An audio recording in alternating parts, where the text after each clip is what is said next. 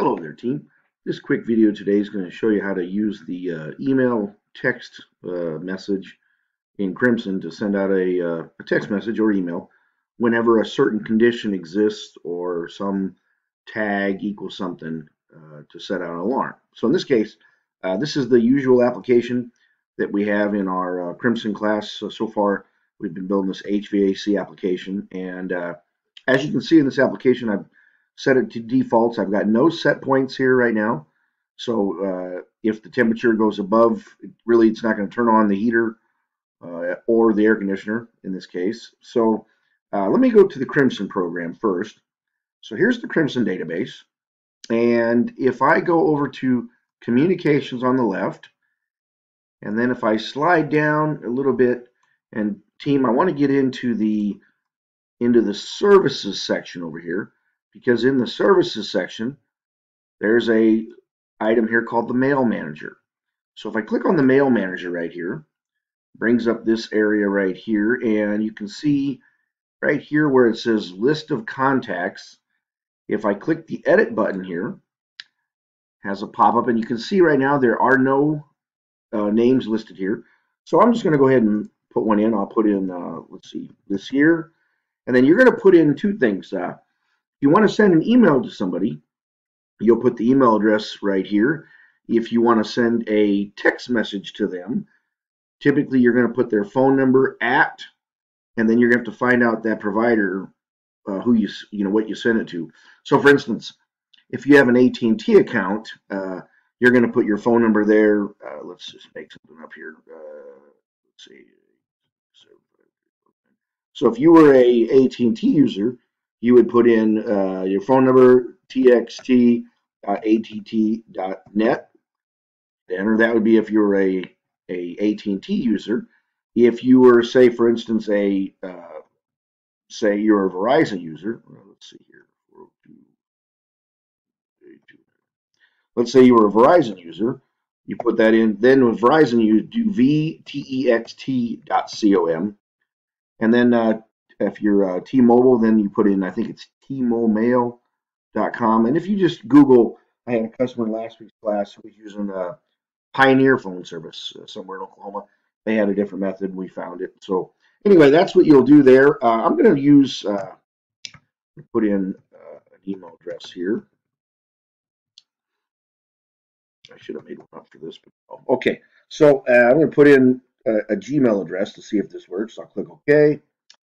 Uh, under the SMTP tab right here, right here, team, is the settings for your uh, email server. So you're going to need to get from your uh, IT department this information here to fill in correctly.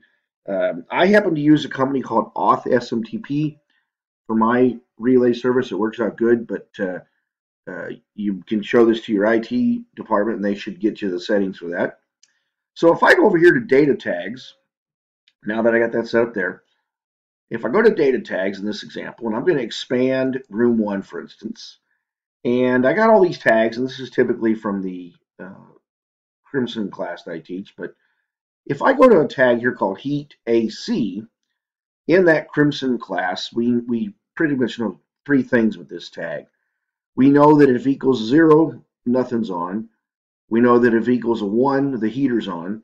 And if it equals a 2, the air conditioner should be on. Matter of fact, I think if I click on the Format tab here, you can actually see that down here because I'm in the class. We set this up as a multi-state right here, and then I list the states here. So notice 0, 1, and 2. So let's say, for instance, team, that I wanted this HMI to send me a email anytime the heater goes on uh, and anytime the air conditioner goes on. I want you to notice one equals the heater on, and number two equals the AC running. Just remember one and two here.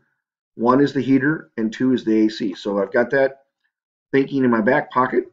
So I'm going to click on, for this example, the Alarms tab right here. Click on the Alarms tab. And on the Alarms tab, notice by default it's disabled. I'm going to hit the pull down here, and I'm going to, you got all these options. You got data match, mismatch, high, low, fall, and so forth. I'm going to pick the data match. And the reason I'm going to pick data match is because I know the number one equals the heaters on, and number two equals the air conditioner's on. So listen, if I put a number one right here in the value field, I'm going to put a one right here. That means anytime this tag equals that number there, I'm going to generate this alarm here, and I want to send it to somebody. So let's uh, say up here, I'm going to say event name, uh, room, oops, that's not room, heater is on. I'll do that. And then right down here where it says mail to recipient, hit the pull down and choose Wazoo. And then uh, in the class that I teach, uh, if we set this acceptance from manual to automatic, that means that it'll keep sending out every time it triggers this. If you leave this at manual, then it's going to send it out one time and you've got to use the alarm viewer to clear it or acknowledge it. So uh, I'm not going to cover that today in this video. So I'm going to set that to automatic. That means, number one, the heater's on. If I go down here to data match, or I'm sorry, alarm two, choose data match here, I'm going to put a value here of number two this time. And then here, where it says event name, I'm going to type room AC is on. Okay. And once again, oops, that thing did it automatically, but I'm going to make this automatic there, and then, of course, change the pull down here to whatever name. Okay, so I think that looks good. I'm going to go ahead and download this to the HMI. We'll go ahead and pull up the web page here. Give it a second to refresh.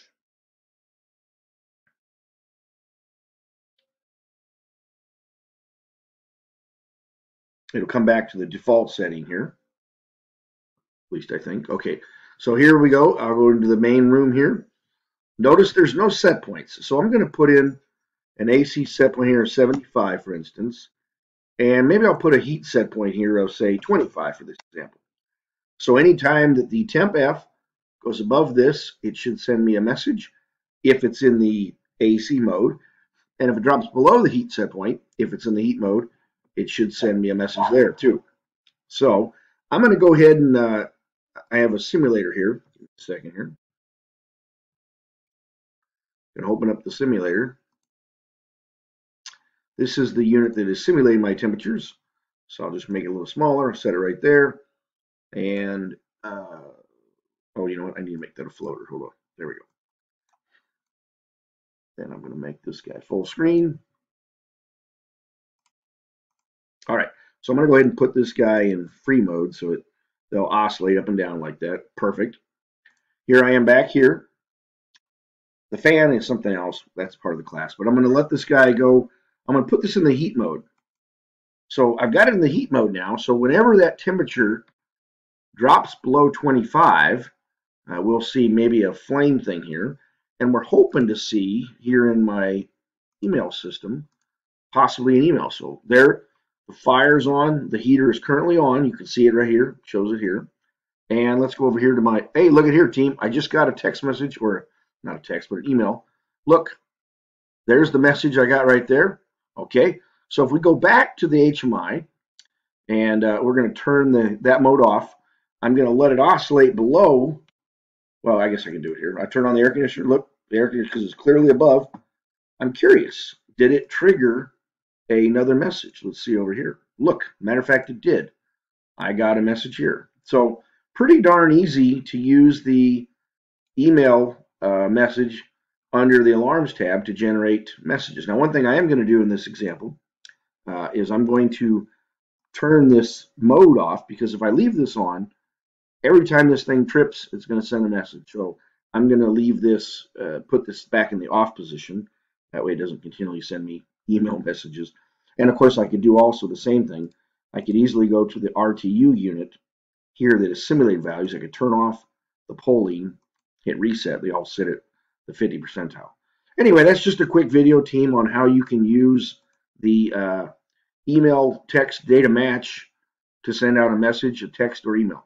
The key thing to this example, the key thing, is that you need to get these settings here under the SMTP settings from your IT department. If you want to borrow my settings for this and use it for testing, feel free to send me an email. I'll be glad to share it with you. I will tell you honestly that I use the company called Auth SMTP. which is just going to be authsmtp.com. And if I log into my site, let's see if it's going to work today. This cost me $36 a year for 1,000 messages a month, email or text. That's $36 a year, which means it's $3 a month. Pretty cheap, if you ask me. Anyway, uh, here's the panel for this Auth SMTP. Let me get a little coffee here. Mm, that's good. And what's nice about it, for me anyway, is that it keeps track of the messages here. So you can see uh, whatever this month, I've taught a number of classes, so we've generated quite a bit of message. But I think I can go to is it account usage and message log, and it will actually show you here the messages. So last week I was teaching a class, so these are some of the uh, email addresses people had. But uh, yeah, anyway, so you're welcome to borrow my account. I'll be certainly uh, willing to share that with you. The key is you can borrow it for testing, and then once you get it working, you just need to go. Really, the best thing, team, would be to get these settings from your IT department and then use your your settings. But uh, feel free to borrow mine if you want. Anyway, uh, if you have any questions or anything, let me know. Uh, send me an email or send me a message here on YouTube, and I'll uh, glad to uh, send you the database examples. Thanks a lot. Have a great day, folks.